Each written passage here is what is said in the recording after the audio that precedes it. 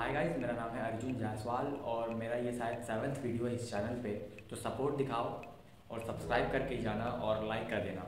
तो आज का जो हमारा टॉपिक है वो है how to control your pimples हाँ यार, देखो मैंने कंट्रोल इसलिए बोला क्योंकि अभी तुम्हारा एज थर्टीन से ट्वेंटी फाइव के बीच में होगा और इस एज में जो हमारा हारमोन्स होता है वो कंट्रोल में नहीं रहता है और हमारा हारमोन्स बहुत सारा हमारे बॉडी में चेंजेस करता है। इसलिए हमें बहुत सारा पिंपल्स होता है। लेकिन अगर आपका ड्राई स्किन कॉम्बिनेशन स्किन या फिर ऑयली स्किन है तो ये तीन स्किन अलग अलग टाइप के हिसाब से आपको पिंपल्स होता है। अगर आपका ड्राई स्किन है अगर आपका फेस बहुत ड्राई रहता है तो बहुत ही कम चांसेस है कि आपको पिंपल्स हो। और अगर आपका कॉम्बिनेशन स्किन है, जैसे मेरा कॉम्बिनेशन स्किन है तो आप देख सकते हो कहीं कहीं मेरा ऑयल आता है कहीं कहीं नहीं आता कहीं कहीं ड्राई रहता है। फोर एड्स पे ऑयल आता है, मेरा नोज़ के पास ऑयल आता है, और कहीं कहीं ड्राई रहता है। लेकिन गाय जो सबसे प्रॉब्लम देता है वो है ऑयली स्किन पे जिनका भी ऑयली स्किन है, वो मेरे बात से सहमत रखते होंगे, ज़्यादा हिंदी बोल दिया। कि उनका ऑयली स्किन है तो उनको पिंपल्स बहुत ज़्यादा होता है। देखो गाइस ऑयली स्किन को पिंपल्स इसलिए ज़्यादा होता है क्योंकि वो एक सीबम प्रोडक्शन उनका बहुत ज़्यादा होता है। इसके वजह से डस्ट पॉल्यूशन सब उनके फेस पे जाता है उनसे पिंपल्स हो जाता है। तो मैं इस वीडियो में कुछ आपको टिप्स बताऊँगा जिससे आपका पिंपल्स कंट्रोल हो जाएगा, ज़्यादा पिंपल्स नहीं होगा। और आप इसे हफ़्ते में मैं कुछ बताऊँगा जिसे आप हफ़्ते में दो बार यूज़ करो, आपका कंट्रोल में आ जाएगा। तो चलो गाइस बिना वीडियो को लेट करते हो वीडियो को स्टार्ट करते हैं। और आप, अगर आपको वीडियो पसंद आएगा तो लाइक करके जाना और कमेंट में मुझे नेक्स्ट टॉपिक के बारे में बता देना। तो चलो गाइस वीडियो को स्टार्ट करते हैं लेट्स गो गाइस जो हमारा फ़र्स्ट स्टेप रहेगा, वो रहेगा वाटर जब भी आप सो के उठोगे, आपको दो से तीन ग्लास वाटर पीना ही पीना है। वो आपके बॉडी को डिहाइड्रेशन से बचाता है और आपकी जितनी पेट में गर्मी है, वो निकाल देता है। पेट की गर्मी से ही आपको पिंपल्स होता है, इसलिए आपको जब भी, आप जब भी उठोगे सोकर आपको दो से तीन गिलास पानी पीना ही है।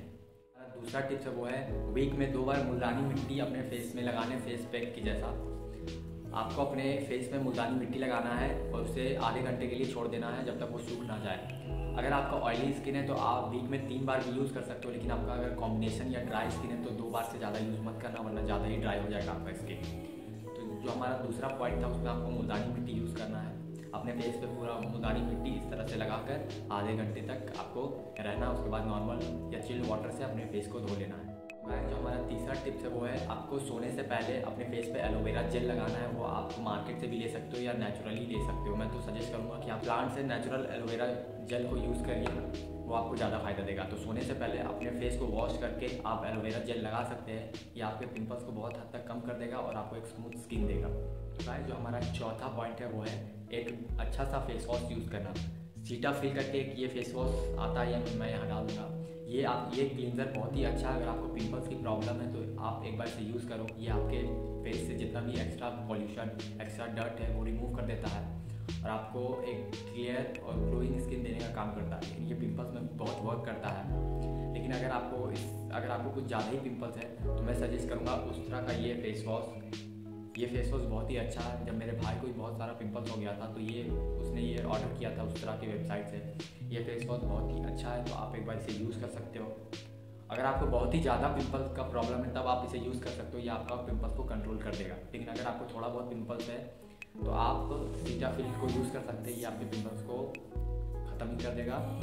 ख़त्म नहीं बोल सकते कंट्रोल में ले आएगा। क्योंकि मैंने जैसे शुरू में बोला कि अभी ये जो एज है थर्टीन से लेकर ट्वेंटी फाइव के बीच इस एज पे आपको पिंपल्स होना ही निश्चित है। मेरा भी कॉम्बिनेशन स्किन इसकी मेरा भी पिंपल्स नहीं है, क्योंकि मैं अभी अपने रूटीन में जो आपको बताया वो फॉलो कर रहा हूँ।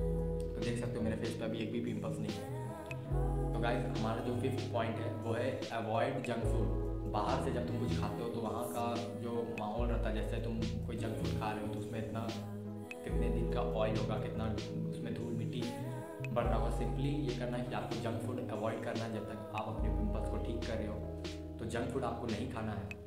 तो बस यार, मेरा वीडियो बनाने का यही पर्पज़ था कि कुछ छोटी छोटी चीज़ों से आप अपने पिम्पल्स को रोक सकते हो। तो मैंने ये जो पाँच आपको टिप्स बताया है, वो आप एक महीना आप इसे अप्लाई करके देखो। आपको हंड्रेड परसेंट रिज़ल्ट मिलेगा। तो बस यार, आज का वीडियो यही ख़त्म करते हैं। अगर आपको वीडियो में थोड़ा भी थोड़ा भी समझ आया या थोड़ा आपको अच्छा लगा तो मेक श्योर करना कि मेरे चैनल को सब्सक्राइब कर लेने का और लाइक करके जाना और कमेंट में ज़रूर से ज़रूर बताना कि आपको नेक्स्ट वीडियो किस टॉपिक पे चाहिए। मिलता है नेक्स्ट वीडियो में, तब तक के लिए बाय टेक केयर